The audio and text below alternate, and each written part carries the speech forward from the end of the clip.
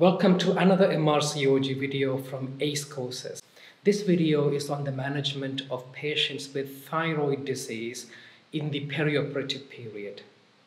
I'm pleased to say that this video was shot in a small village library in the north of Sri Lanka in a place called Valalai.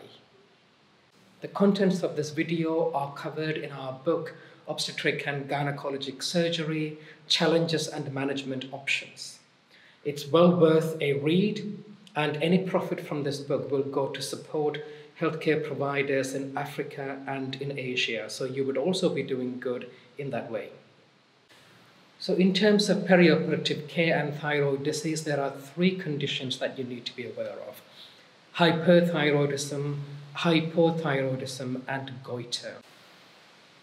In terms of hyperthyroidism, the key issue to be aware of is that surgical stress in uncontrolled or undiagnosed thyrotoxicosis can lead to a life threatening condition called thyroid storm which is characterized by hyperthermia, tachycardia, sweating, and dyspnea. If not managed properly, it can lead to heart failure or cardiac arrest.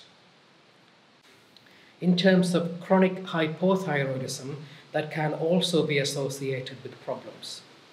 Problems such as cardiac failure, a difficult airway, hypothermia, and aspiration due to delayed gastric emptying. A goiter can be associated with airway obstruction.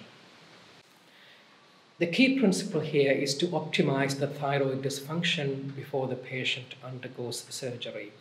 You should obviously involve endocrinologists and the anesthetists and aim for regional anesthesia if at all possible. In terms of thyrotoxic patients, they could be started on beta blockers, unless, of course, that is contraindicated, and antithyroid medication, such as propylthiouracil or carbimazole. Plasmapheresis may be useful. The aim here is to reduce the resting heart rate to less than 90 beats per minute. What would you do if a patient develops thyroid storm? Well, the first step is to give oxygen through face mask and then cool the patient with ice bags. Then you need to give hydrocortisone 100 to 300 milligrams intravenously. You will also need to give propranolol 1 milligram IV boluses and you can give this up to 10 milligrams. Digoxin can be used if there is fast AF and any electrolyte imbalance and dehydration will need to be corrected.